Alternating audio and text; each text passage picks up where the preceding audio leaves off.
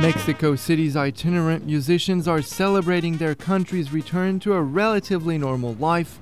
The government has put an end to most of the restrictive measures it had implemented in order to contain the H1N1 flu epidemic.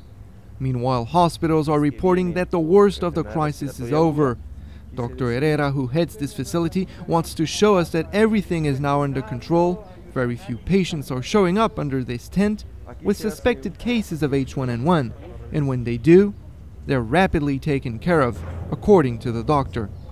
y esos son los que se tienen hospitalizados y de ahí hay un grupo de pacientes que son la minoría que requieren estar asistidos por un ventilador. La mayor parte no requieren eso, la mayor parte se pueden ir a casa. Further on, the doctor grants us access to the intensive care unit. He says that this is where Mexico is winning the battle against the H1N1 virus. According to the doctor, there are very few patients here, and there is a simple explanation to why these ones are in such a critical state. Finalmente de lo que se mueren las personas de una infección de este tipo no es necesariamente de lo que produce, no es del virus, no es la infección del virus, es cómo responde el cuerpo a la infección.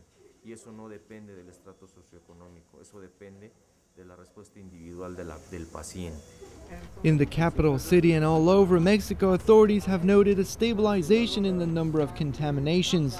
The government pins these results on the work of public health agents and the population who paid close attention to official recommendations. Lo importante yo creo que es eh, en estos momentos no bajar la guardia. Si se sienten algunos de los síntomas, pues estamos en el momento adecuado para todavía combatirla. Eh, esperemos que, que no siga mayores. ¿no?